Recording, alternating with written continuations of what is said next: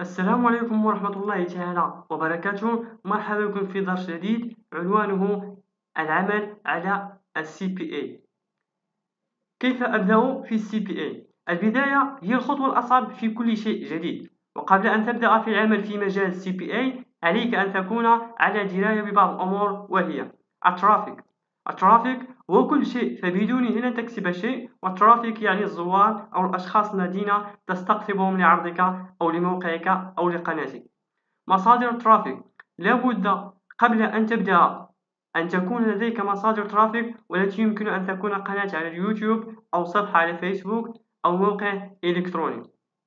أو أن تعتمد على جلب traffic مدفوع من خلال الإعلانات عبر المنصات المختلفة. تنفيذ الإعلانات.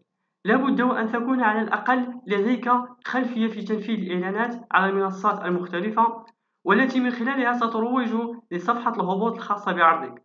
وأهم منصة تنفيذ الإعلانات الخاصة بعروض فيسبوك CPA Facebook Ads و Google Ads و Bing Ads وهناك العديد من المنصات الأخرى والتي تأتي ب traffic جيد.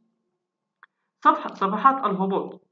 يجب أن تتقن خطوة تصميم صفحة هبوط جذابة وقوية لأنها بمثابة الطعم الذي سيجذب الجمهور لعرضك وعليك أن تختار موقع واحد فقط لتصميم صفحات الهبوط تتقنه وتعتمد عليه.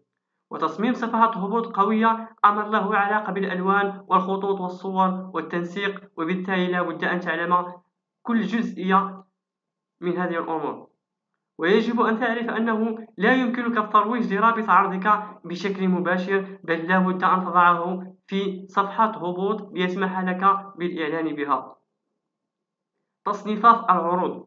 هناك قائمة مختلفة من العروض.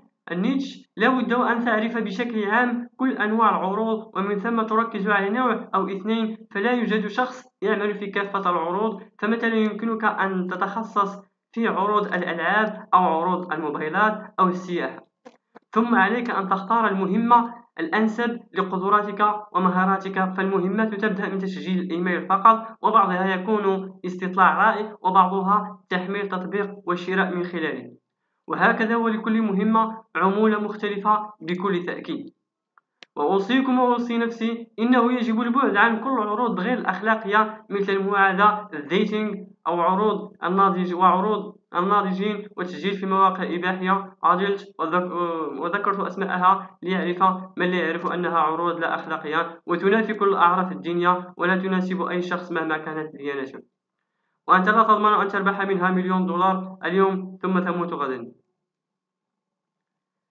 السؤال الثاني الذي يطرحه العديد هو كم المبلغ الذي يمكنني, أن أبدأ به في مجال ال CPA أوضح لك أمرا هاما في البداية في عالم الإنترنت والربح من خلاله بشكل عام وفي مجال ال CPA خصوصا لن يعد هناك شيء مجاني. أقسم لك إنه لا شيء مجاني وهذا لا يعني إنه لا ربح من خلال الطرق المجانية. ولكن الربح الذي أتحدث عنه هو ربما 300 دولار أسبوعيا. هذا لن يأتي بشكل مجاني أبدا. وأما وإما إن كنت تبحث عن 5 دولار و10 دولار يمكنك الاعتماد على المجاني وبشكل عام لا قاعدة محددة للمبلغ الذي يكفي أن تبدأ به في مجال ال CPA فيمكنك أن تبدأ بإعلان بعشرة دولار يحقق لك أرباح مئة دولار. وهنا كل شيء انتهى وستبدأ في استغلال المئة دولار في إعلانات قادمة وبالتالي العشرة دولار قد تكون كافية جدا. ويمكن أن تبدأ بخمسمائة دولار وتنفذ إعلان تلو الآخر ولا توجد نتائج وبالتالي 500 دولار لا تكفيك للبدء ولكن لتكون ولكن لتكون الصورة واضحة بشكل كامل المصاريف لا تقتصر على تنفيذ إعلانات فقط فالعمل في مجال CPA يتطلب منك إن كنت تنوي تحقيق أرباح حقيقية من المجال أن تدفع المال في الاشتراك في موقع جيد لتصميم صفحات الهبوط. أن تدفع في موقع تجسس على الحملات الإعلانية للآخرين لتعلم نقاط القوة والضعف. وأن تدفع في موقع تتبع جيدا لتعلم ما يحدث في عرضك وما يجب أن يتم تعديله وسلوك الزوار.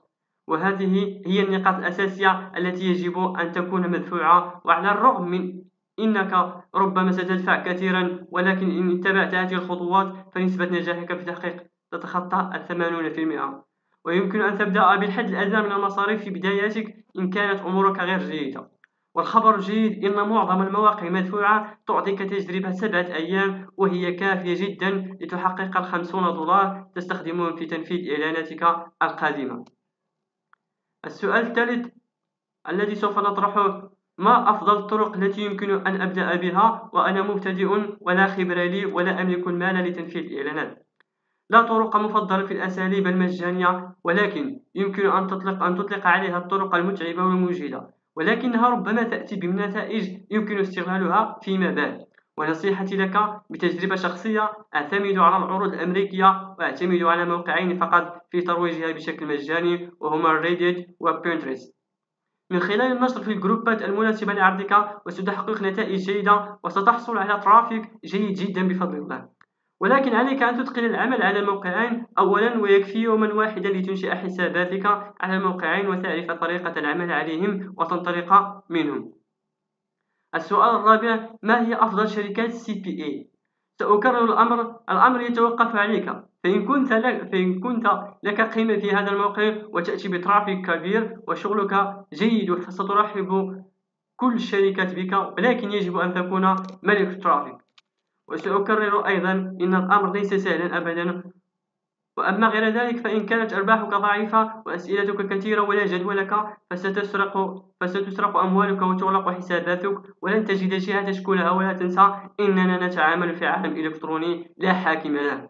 ولا يخضع لأي معايير أخلاقية وإنسانية أو دينية. فعليك أن تتعامل. وعذرا لن أذكر اسم شركات بعينها حتى لا أورط أحدا فأنا لم أجرب الكل. السؤال الخامس الذي سنطرحه الآن هل هناك نصائح خاصة تساعد على الربح؟ هناك بعض النصائح لا بد وأن تكون حاضرة في ذهنك كل لحظة وهي. الاجتهاد. لا يمكن أن تسأل الآخرين عن كل كلمة أو مصطلح يظهر أمامك أو سمعته. لا يمكن أن تطلب من الآخرين ترشيح كورس أو كتاب في مجال معين. لا يمكن أن تسأل وتسأل ولا تعتمد على نفسك أبدا فأنت تملك عقل كامل الآخرين وتملك نفس الأدوات فالكل يملك محرك البحث جوجل وهو الذي يلجأ إليه الجميع محترفين وهواة للحصول على رد أسئلتهم فالكورس الذي أشاهده ربما أسلوبه يناسبني ولا يناسبك من حيث استقبال المعلومات فعليك البحث عن ما يناسبك وتأكد إن كل فيديو لا تخرج منه بمعلومة فالمشكلة عندك. اجتهد وتعلم لغة جديدة لتستمع لشرح واستراتيجيات جديدة من الأجانب بل ولتنافسهم في أسواقهم ولكن اجتهد. البحث. البحث هو نصف عملية النجاح ودون البحث لن تصل لشيء ستظل من ترشيح شخص لترشيح آخر وأنت تسير وراء الآراء ولن تبحث بنفسك. والبحث هنا أقصد به البحث محرك البحث جوجل. فهناك ستجد كل شيء وأي شيء. جرب إنه كلما قفز إلى عقلك فكرة أو سؤال اكتبه في جوجل وسترى النتائج. وكن ذكيا لا تسأل أحد المحترفين أو خبراء عن كورس أو عن تعريف مصطلح أو أمر بسيط. ستجد إجابته متكررة على جوجل. بل ادخر أسئلتك في الأمور الفنية الهامة التي تخص صلب الموضوع كالسؤال عن أفضل أسلوب تسويقي يمكن اتباعه في الترويج لعروض الألعاب في السويد. كن ذكيا حتى تجد المساندة أما غير ذلك فستكون مزعج للآخرين. لا تكتفي. إن كنت تنوي, تنوي البدء في السي بي اي فعليك العلم إن مصدر واحد أو حتى عشر مصادر لا تكفي للتعلم. اسمع من أشخاص مختلفي الفكر والثقافة. وحتى البلد واجمع كل المعلومات وانطلق أنت. فيجب أن لا ينحصر مصدر معلوماتك على جهة أو شخص واحد أو أنك تتابع قناة واحدة فقط. يجب أن تقرأ كتب ومقالات وتشاهد فيديوهات عربية وأجنبية وتشترك في منتديات خاصة بالسي بي اي ومعظمها أجنبية. اجمع معلومات من عدة جهات لتحصل على أفكار متنوعة. التجربة. إن كنت من الدراميين من إن كنت من الدراميين من ينتظرون أحد الأشخاص يأتي ويذكر لهم خطوات كاملة أو استراتيجية تأتي لهم بالمال الكثير فأنت واهم وغير منطقي بالمرة.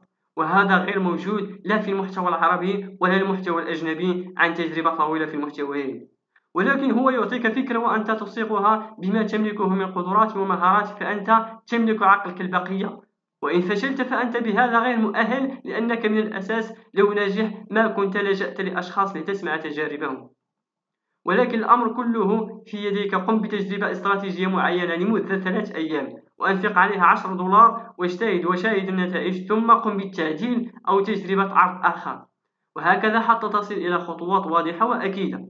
ويجب أن تعلم إنه لا يوجد شخص على وجه الأرض يعمل في مجال ال CPA لم يتعرض للخسارة. لم أذكر أسماء أي مواقع أو شركات إيمانا مني بضرورة سعي وبحث كل شخص عن المصدر الأفضل له من خلال البحث في جوجل والتعرف على آراء الناس الإيجابية والسلبية.